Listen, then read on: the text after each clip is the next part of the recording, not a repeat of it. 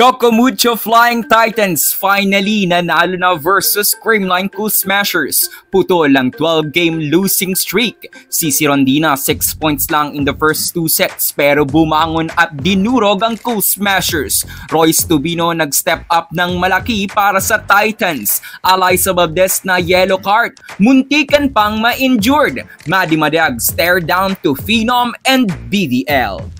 Good day ka-trending, this is Ron Michael, the voice artist of this channel. Ngunit bago natin yan pag-usapan, ay huwag mong kalimutan mag-subscribe and click the notification bell para updated ka sa latest Pilipinas volleyball trends. Five-year loss ends today para sa Chocomucho Flying Titans laban sa kanilang sisters the Creamline Cool Smashers. Nabaon man noong first two sets pero nagpakita ng strong character and will ang Chocomucho at hindi bumitaw para itala ang kanilang unang panalo laban sa Cool Smashers in a reverse sweep fashion. 13-25, 19-25, 25-21, 25-20 at 18-16. Set 1 bumungad ang strong services ni Gemma Galanza, sinamantala ng Creamline ang mga poor passes ng Titans at nakatransition ng punto sila Valdez Panaga at gumabaw para sa kanilang 9-1 lead.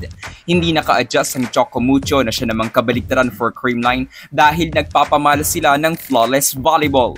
Well distributed ang mga sets ni Negrito na tila nang huhula ang mga blockers ng Chocomucho sa kung sino ang papalo for Creamline.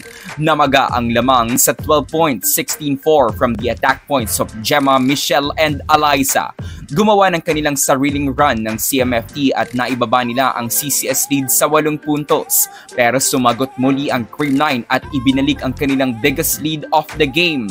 Nagpakita ng struggle si CC Rondina at nagtala ng mga attack errors. Hindi na pinatagal pa nila Valdez at gumabaw ang set at tinapos ng kanilang magkasunod na puntos ang set 1 25-13.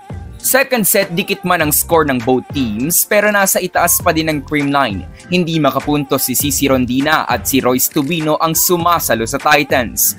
After the second technical timeout ay ipinasok na si Mian Mendres para makatulong sa loob pero di pa din nagpapigil ang cream line sa pagratsyada ng puntos 21-14. Sa puntong ito ng game ay hindi pa nga din nakakapuntos si Cici. Sa tail end ng set ay ipinasok si Ella De Jesus bilang service specialist. Ika nga ng game commentator, no mercy daw si Eliza Valdez at tinapos ng kanyang ikasampung puntos ang second set 25-19. Set 3 na bigyan ng yellow card si Eliza Valdez. Mas uminit ang game dahil Chocomucho ang on top at working on their favor yung si Tubino ang nasa open at si Molde ang nasa opposite. Pagdating ng second technical timeout ay binura ng multiple attacks ni Gemma Galanza ang 3-point lead ng Titans. Subalit muling umarangkada ang Titans at umariba sa harap si Royce Tubino 22-18. Sumagot si Mitch Gumabaw at ibinaba ang lamang sa isa pero ginamit ng Titans ang kanilang blockings para di masayang ang kanilang lamang at kinuwang third set 25-21. Fourth set, tila tumigil ang mundo nang matagalang bumangon si Eliza Valdez after her attack. Pero nagpakita ng no sign of injury si Eliza at gumawa pa ng magkakasunod na opensa. Kaya naman nang mablock ni Maddie si Eliza ay di nito napigilang mag-stare down. Nagpatuloy ang mga block points ng Chocomucho at nabuhay na si Cici Rondina. Kaya't lamang ang CMFT 19 to 16. Nakatabla ang Creamline pero muling gumawa ng advantage ang Titans at matagumpay na in-extend extend ang game to 25-20. Fifth set lamang ang Chocomucho 8-6. Nagpaulan ng atake si Cici Rondina at nagpalitan sila ng puntos ni Gemma Galanza para sa talang 12 all.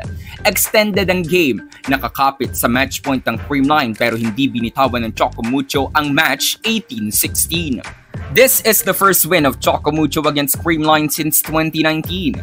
Finally ay putol na ang 12-game losing streak ng Titans laban sa Cold Smashers at mas matamis pa ang panalong ito dahil reverse sweep in the semifinals ang kanilang ginawa laban sa defending champions. Itinanghal na player of the game si Cici Rondina with 23 points from 21 attacks, 1 block and 1 ace. Nakatuwang niya sa scoring si Royce Tubino para supalpali ng 4 players in double digits sa panig ng Creamline.